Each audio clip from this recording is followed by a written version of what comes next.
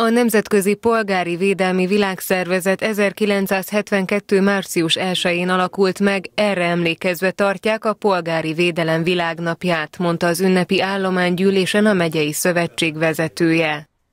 A Polgári Védelem Világnapja alkalmából Magyarországon immár 24 éve emlékezünk meg minden év március 1-én azon emberbaráti feladatok ellátásáról, amelyek a lakosság háborús cselekedetektől illetve a katasztrófák következményeitől való megóvására irányulnak.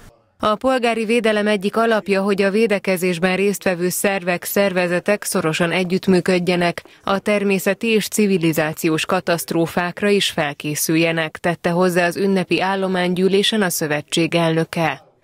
Jelenleg a önkéntes és civil szervezeteknek a képviselői, illetve az igazgatóság vezető állománya, aki részt vesz ezen az állománygyűlésen.